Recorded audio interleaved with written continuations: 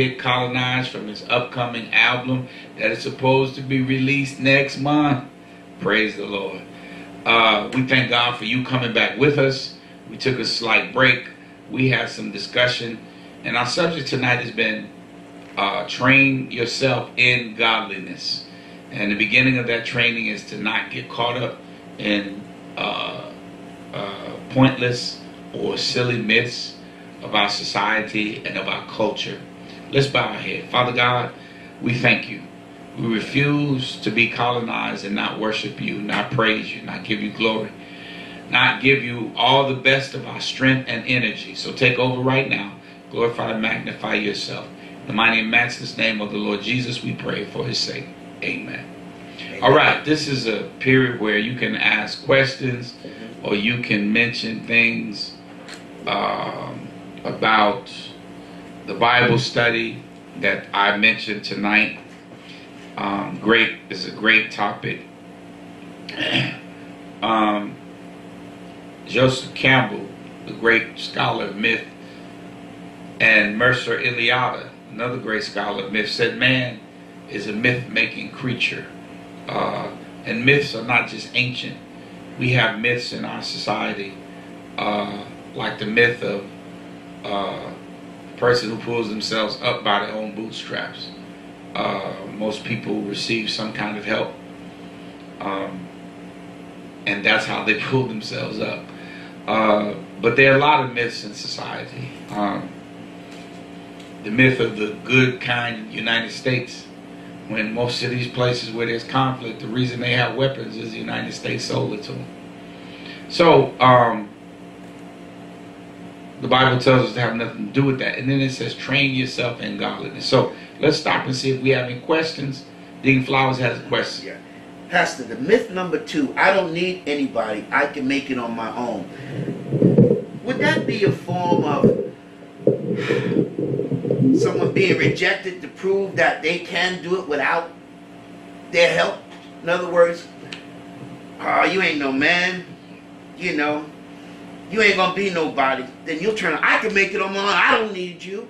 Is that? Oh yeah, yeah, yeah. I think people, I think people get rejected. Yeah. And then they get hurt, and uh, they don't want to depend on people. Right. You know, um, I never forget. I was on a plane once, and I sat next to a young woman. She happened to be white. Didn't matter. She said that she was telling me about her family, and she told me that her family had adopted a brother, mm-hmm. but he was separated from his mother in the first year of his life. Mm-hmm. And she said that it's a statistical fact when a child is separated from, from their mother mm-hmm. for the first year, they have problems dealing with people. Mm-hmm. They didn't get the warmth, okay. they didn't get the connections, and that she said this adopted child it really tore her family up um, he was very difficult. He was always in trouble, and that the rest of the children spent their lives reacting to things that he was doing. Mm. Um, and so, uh, now in his case, it it was a, a unknowing rejection. He didn't know about this. Okay. This was simply the dynamic. Okay. But he was formed and shaped by those birth circumstances. Mm. Now, could he not change? Could he be different? Yes, but it would be difficult. That's extreme case, but in lesser cases, a lot of times people get rejected in their family. A lot of times people get uh, rejected from one of their parents, and they learn from that that people hurt you, and then they try to go about not needing people. Um, people can betray you, and um, or you could lose, as I talked about last week, my mentor losing one of his proteges and him saying, I'm, I'm not going to have any more friends. Right. Um, so I think hurt, pain, rejection make people want to go to the place where they act as if or they say, I don't need nobody. I can do this on my own. And that's a myth. Mm-hmm. You know, you can't do things, you can't do but so much on your own, and it's very little. You know, um, the enemy has made it seem like oh, if you get married, you're going to be miserable. And that's a myth. But the myth is so powerful, it keeps younger people from getting married. Mm. Okay? That's true. Um, so the thing about a myth is it seems to be very, very real. And it's the basis of people acting on things. You gotta remember, 75 million people voted for Donald Trump. That's right. And probably 40 million of those believe that the election was stolen from him. Yeah. When there's no evidence, there's no proof, it's just something you said and a feeling that you had. Mhm. And that undergirding the myth, the myth is a worldview that explains everything, but it's a certain feeling undergirding the myth. Right. The myth that black people are dangerous. Well, when you enslave people and treat them bad and kidnap them and don't pay them anything, you're afraid they're gonna wake up one day and say and, and kill you. Mhm. So you put that on them and you say, oh, they're this. Mhm. You know, so I think people fall into that myth because they get hurt somehow. And there's a lot of ways to get hurt, you know. Um, you can't live in this world and not get hurt. And when some people are hurt, they just close down, shut down. Mm. And um, the enemy um, promotes the idea that you will be uh, better if you don't trust people. You'll be better if you don't love people. You'll be better. And then when you have experiences where you trust and you love and you get betrayed, it just reinforces that. You know, but we know, we know from knowing what love is. Love is God given Christ, Christ sacrificing on the cross. Uh, and so we know that pain can be turned around to have a good purpose. And so we know that, I mean, Judas betraying Jesus did not stop Jesus. Right. The disciples running and deserting Jesus did not stop Jesus. Um, Peter cussing Jesus, cussing people out about Jesus Mhm. and denying him did not stop Jesus. Right. But they were painful experiences. That's why Jesus made sure to look at Peter. Mm. He wanted to know, as we say, I feel you. I told you this going to happen, but now you did Now it. you know it. Yeah. I feel it. You know, he looked at Judas and said, look, what you going to do, do it quick. Mhm. I know what you're going to do. Um, he's on the cross. Only one disciple is there. You know, and he told him, look, deal with my mother. Right. We're not even going to deal with my situation. Mhm. I'm on the cross, deal with my mother. That's right. So, um, yeah, that's that that I think hurt and pain, and a lot of people have been hurt, and a lot of people are in pain. And you, we sh- it's good to remember that when people are mean to you and nasty, and it's good to remember that they're in pain sometimes. Yeah. Now, just because they're in pain don't mean you let them tear you apart. Right. True. Okay, Yeah. because their pain should not take precedent over everything. But it helps you to put the whole situation in perspective. A lot of times, people attacking you have been attacked and are miserable, right. and they want you to be miserable too. Right. That's a human thing. Yeah, I don't, I don't, I don't want to be Mm. uh, miserable and see somebody else happy. I'll tear them down first. Mm. That's the sinful nature. Yes. You know, and we believe people have a nature. You know, not a lot of people believe the myth that people are good if you give them a chance. Mhm. I, that's a myth. Yeah. That is. Yes, sir. So, Sister Richardson, Sister Ziana, Someone has a question online. yes. What other reasons caused you to say 1972 was when the myth of I can make it on my own changed the black community? Ooh, wait. Oh, uh, who said that? Who said that? Anthony Copeland. Ah, Brother Copeland, you hot tonight. Um, 1972 was a turning point. Yeah. Um, what year was the Vietnam War over? It's around that time, 72, 73. Yeah, around 72, 73. This is the. This is also the the. If it's not the end, um, it's around the end of the Vietnam War, Mhm. the first war America ever lost. The soldiers come back. They aren't greeted as heroes. They're greeted as imperialists. They come back. Many of them hooked on heroin. Mm-hmm. They come back with no treatment, no post traumatic help, no help to deal with post traumatic stress. Um, so the Vietnam, the end of the Vietnam War is definitely uh, uh, one of those things. Um, a, a number of other things happened. That's such a great question. I don't have them all in my head. I think in 72, Nixon becomes a president. And remember, so Martin Luther King is assassinated in 68. There's massive riots. Richard Nixon becomes a law and order president. I'm going to restore law and order to the streets. Nixon also came forth with the idea of black capitalism. We're going to give some scraps to certain black businessmen, and that's going to have the black, that's going to take care of the black community. Uh, 1972 was also the year that uh, the Black Panthers really received a lot of vicious, vicious attacks. Some of their leaders were jailed. Mm-hmm. Some of their leaders went into exile. Many of them were killed. Um, and a lot of people who study the Black Panthers, they mark 1972 as a turning point. Before that, the Black Panthers were a rising organization. After 1972, the East Coast had been separated from the West. Um, um, and it was a declining organization. Um, those are some of the things. There, there's a number of things that, that uh, I can't quite recall. I've been fogged up since I had COVID. Uh, at least that's what I'm blaming it on. Um, but I really think that's what it is. Uh, but all of those things happened in, in, in 1972. 1972 was a turning point. Um, Deacon Flowers was asking me about It's Your Thing, and he was saying, he was asking me, wasn't it linked to the militancy?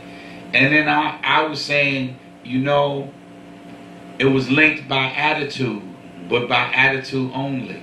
Okay, because It's My Thing became, I'm to wear what I want to wear. I'm to sleep with who I want to sleep with. I'm to get high, high if I want to get high.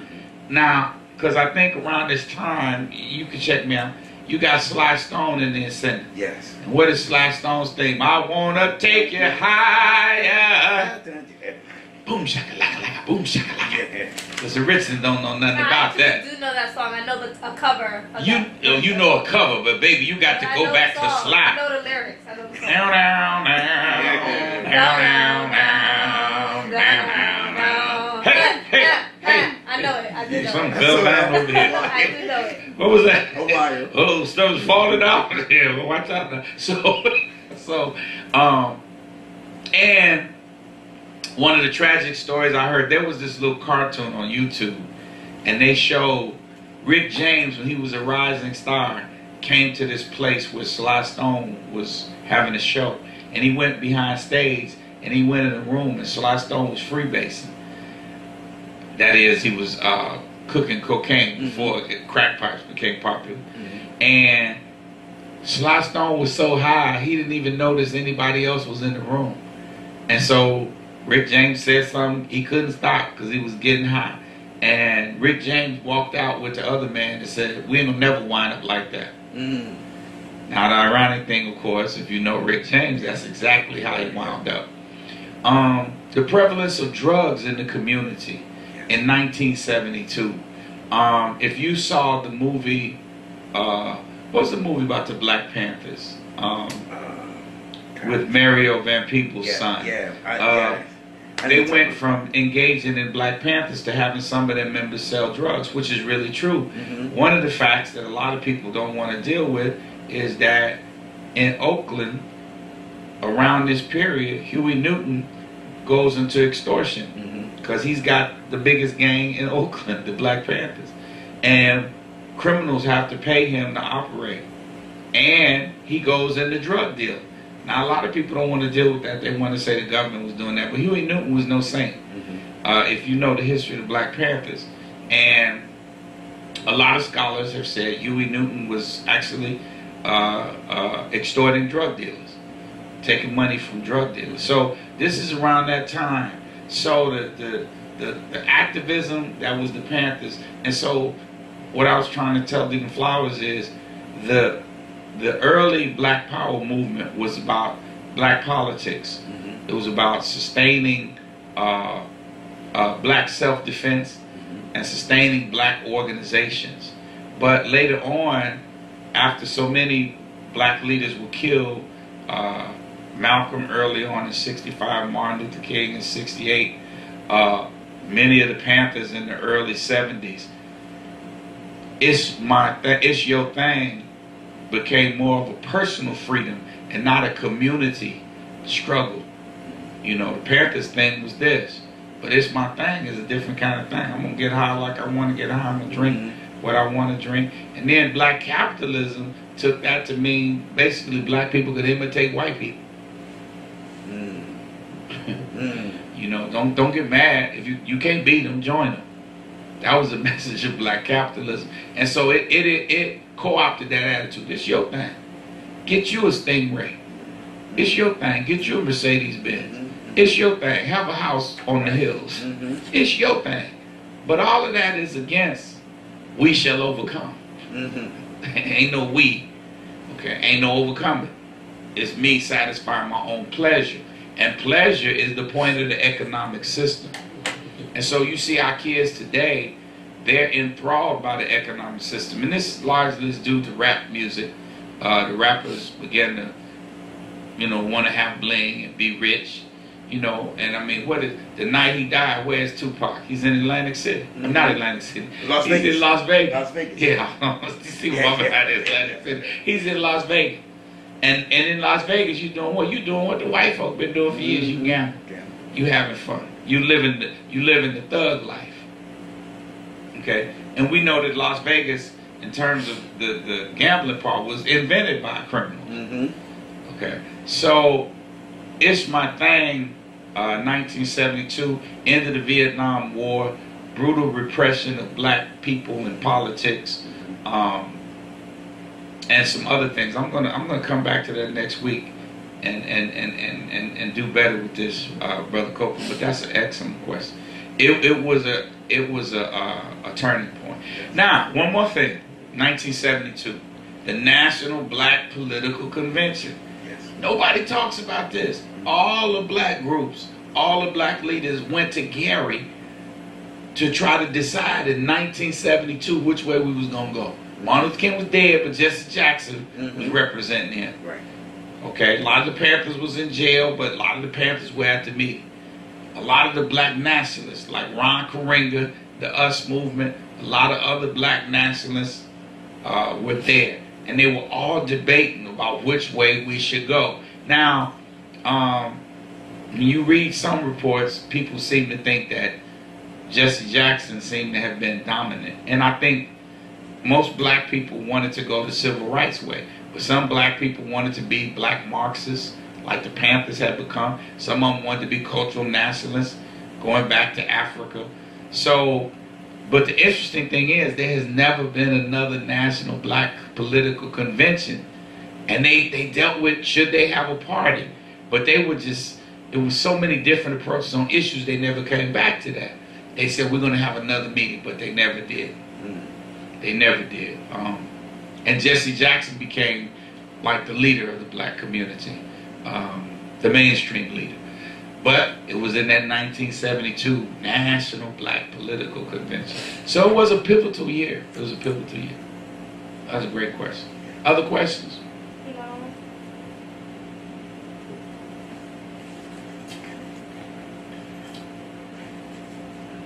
All of us, now the thing about myth, myth starts to govern your behavior.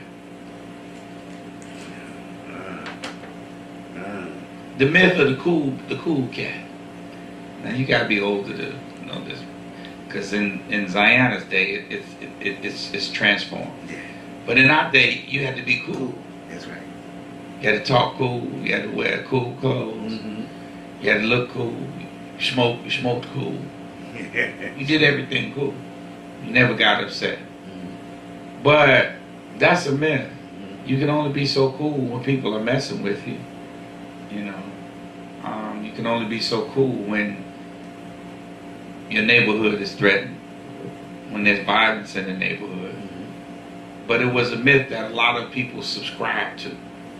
And I think most of the men who are watching, you will agree that um, you you took part in the myth. You drank, Mhm. you started getting high, you chased women, you ran around with different women, trying to fulfill that myth of the cool, tough man. Okay, some some of us carry weapons, knife or gun. All right, trying to fulfill that myth. Okay, and and I think in the younger time is the myth of the gangster. Our boys killing each other over Constant. Mm. um, was it last year, maybe year before last? Some boys went Kings Plaza Mall, and one group saw another group, and they started shooting. the people say they didn't exchange any words. They just, and one of my godsons explained it to me. He said they were clocking me a certain way, Mm. and I said, "It's clock, Clocking you. clocking you." Yeah. And he said, "Hey, I didn't like the way they clocked me." And he said, "Hey, I, I was strapped." And I said, you was gonna shoot them because of how they was looking at you? Yeah, you know, you can't be looking at nobody. And I said, what they supposed to do? You look away. So here, our young men are so caught up in the gangster modality that they're looking at each other and they start shooting. And they turn the whole mall out. That's one of my favorite malls. I love the black malls. Mhm. Some people don't like them. But I love the black malls. I'll be in Green Acres all the time. As you go when I was in Brooklyn. I'll be in Kings Plaza. I'll be down here in Brooklyn.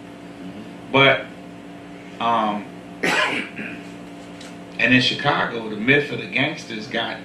There's a place in Chicago. People told me don't don't go over there, and it's where I used to go to high school. Don't.